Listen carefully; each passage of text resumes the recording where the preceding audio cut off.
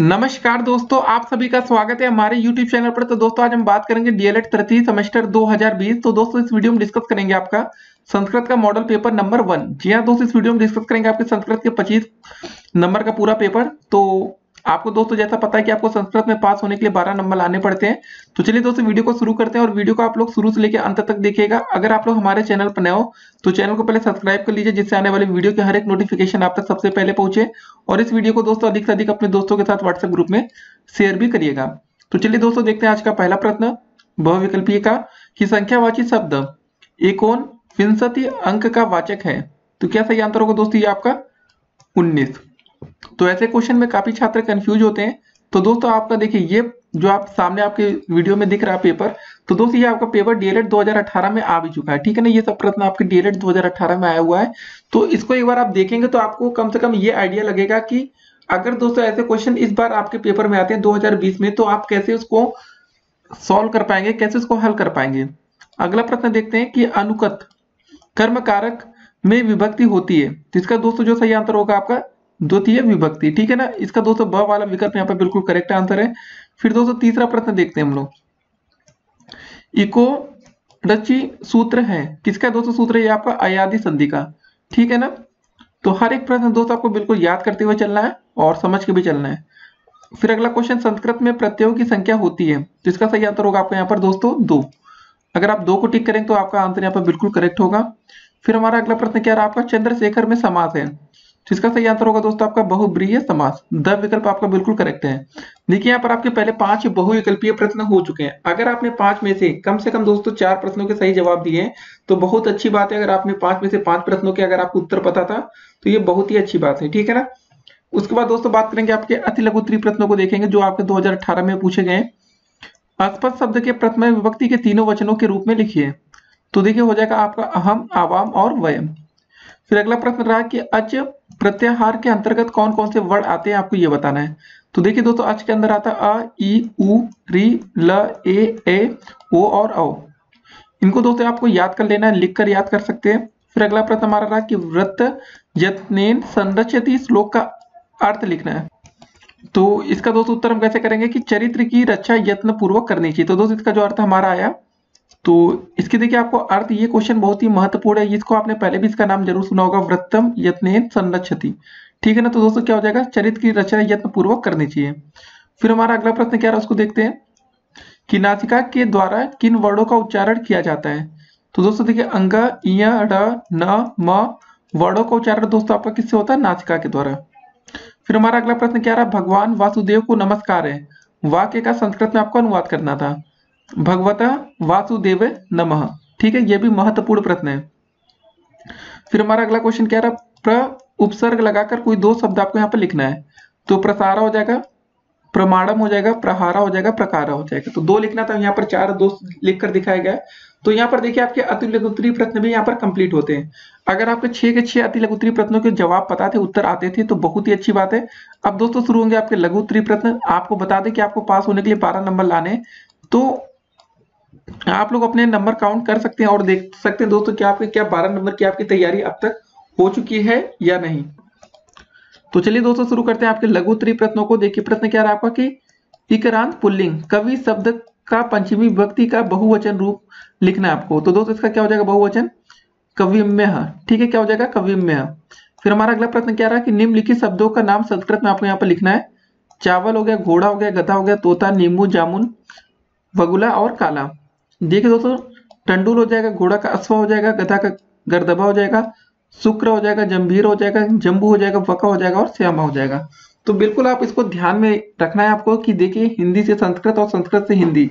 इन वाक्यों को दोस्तों थोड़ा बहुत आप देख के जाइएगा कि कुछ जो महत्वपूर्ण हो आपकी दृष्टि से पेपर की, देखिए हमने संस्कृत की पूरी वीडियो वैसे बना रखी है। उसका लिंक दोस्तों अभी हम आपको कमेंट बॉक्स में दे देंगे तो उससे आप एक बार तैयारी कर सकते हैं, जिससे कि दोस्तों आप पेपर में एक अच्छा स्कोर आप कर पाएँगे। फिर अगला प्रश्न हमारा क्या रहा? अनुकरण वाचन का उद्देश्य आपको यहाँ पर लिखना है। देखिए, शिक्षक द्वारा किए गए आदर्श वाचन का अनुकरण करना, उच्चारण को शुद्ध बनाना, वाचन में गति एवं प्रवाह का ध्यान रखना, ये दोस्तों आपका अनुकरण वाचन का उद्देश्य होता है। तो पहले तीन लघुत्री प्रश्न हो चुके हैं, उसके बाद दोस्तों देखते हैं अगला लघुत्री प्रश्न हमारा, उपसर्ग की परिभाषा तथा उसका एक उदाहरण आपको लिखना है। देखिए, ये क्वेश्चन अच्छा था, जिससे दोस्तों आप दो नंबर तो आप यहाँ पर फ्री के पा सकते थे। देखिए, काफ़ी ऐसे प्रश्न आते हैं पेपर में, जो दोस्तों आपके लिए थोड़े बहुत एडवांटेज वाले होते हैं जिस पर आप अच्छा स्कोर कर सकते हैं। उपसर्ग की परिभाषा देखिए देखिए ऐसे शब्दांत जो शब्द के पूर्व में जुड़कर उसके अर्थ में परिवर्तन कर देते हैं कहीं कहीं विशेषता ला, ला देते हैं और कहीं मात्रा शोभावर्धक होते हैं। वे उपसर्ग कहलाते हैं। जैसे दोस्तों हार शब्द पूर्व अलग अलग उपसर्ग लगने से उसके भिन्न भिन्न अर्थ प्रकट होते हैं। हार में दोस्तों जैसे आप प्र जोड़ देंगे तो आपका हो जाएगा प्रहार। वी जोड़ देंगे तो दोस्तों आपका यहाँ हो जाएगा विहार। हार में आप आ जोड़ देंगे तो दोस्तों क्या हो जाएगा आपका? आहार। तो ये देखिए आप परिभाषा का एग्ज़ाम्पल उदाहरण बहुत ही अच्छे से दे सकते हैं। अगला प्रश्न क्या रहा हमारा उसको देखते हैं। निम्नलिखित श्लोक का हिंदी में अर्थ आपको दोस्तों यहाँ पर लिखना था। अयम निज परो वेति गणन लघु चेत साम उदार चरितानाम तू वसुदेव कुटुंबकम तो देखिए संस्कृत से हिंदी में ठीक है ना?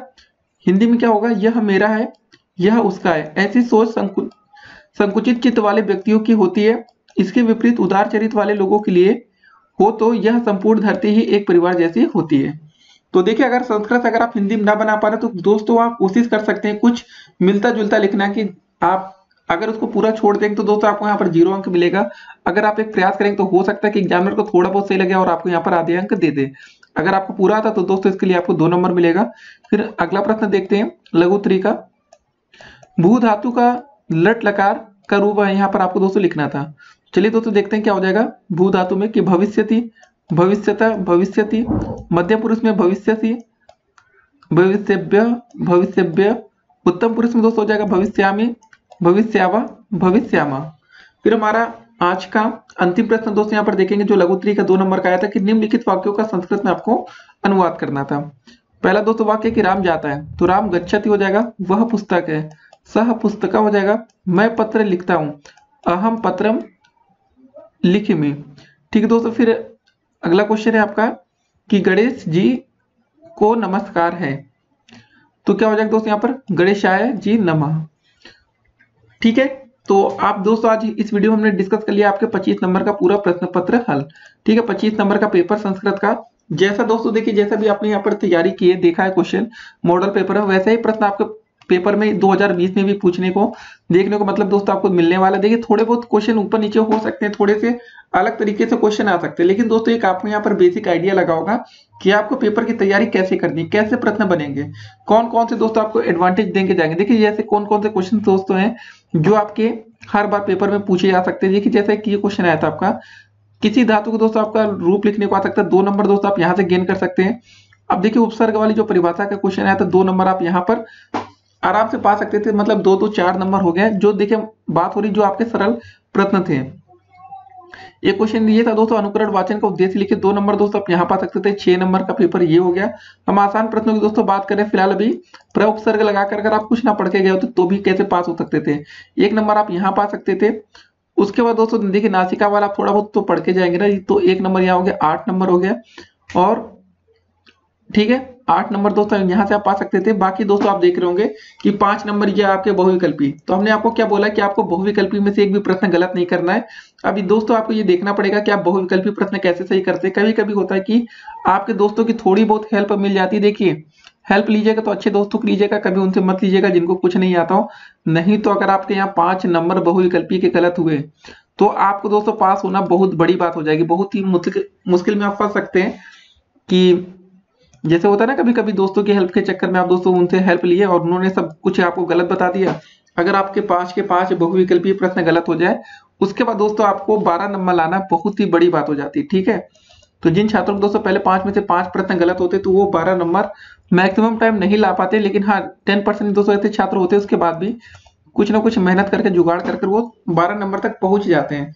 तो हम ये आपसे कहेंगे कि आपको दोस्तों ये थोड़ी बहुत सावधानियाँ बरतनी है। देखिए, हमने आपके लिए मैथ का पूरा मॉडल पेपर बना रखा है। तो आप दोस्तों, इस वीडियो को देखने के बाद आप तुरंत जाइएगा, मैथ का मॉडल पेपर का लिंक भी हम आपको कमेंट बॉक्स में दे देंगे। वो भी आपके लिए ज़रूरी है। आपकी बैग देखिए, तृतीय सेमेस्टर में जो सबसे ज़्यादा लगती है वो आपकी फिर से संस्कृत और गणित। आपके सेकेंड सेमेस्टर में दोस्तों, आपने देखा होगा कि काफ़ी छात्रों की बैग लगी। तो सबसे ज़्यादा बैग दोस्तों, जो छात्र थे, जिनकी, जिन जिन सब्जेक्ट्स में लगी दोस्तों, वो आपका गणित था। देखिए, गणित में आपकी बैग इसलिए लग जाती है ना, क्योंकि काफ़ी ऐसे छात्र हैं जिनकी गणित काफ़ी ज़्यादा कमज़ोर है। अगर आप गणित को दोस्तों हम हर बार आपसे बोलते हैं, इसको लिए आपको ट्यूशन की ज़रूरत पड़ेगी। अगर आप ट्यूशन ले लेंगे तो दोस्तों आपके लिए बहुत ही बढ़िया रहेगा, नहीं ले रहे तो ये आप अपने ही पैर पर कुलाड़ी मार रहे हैं। क्योंकि आने वाले समय में UP TET CTET super TET हर जगह मैथ है। तो इस मैथ को दोस्तों अगर आप कैसे ना कैसे क्लियर कर ले जाएँगे तो दोस्तों वहाँ स्कोरिंग सब्जेक्ट से होता है। ठीक है ना मतलब आपको वहाँ स्कोर करना होता है सब्जेक्ट्स की बात छोड़िए। अगर आप वहाँ एक अच्छा स्कोर नहीं कर पाएँगे तो आपकी नौकरी मुश्किल में आएगी, ठीक है ना।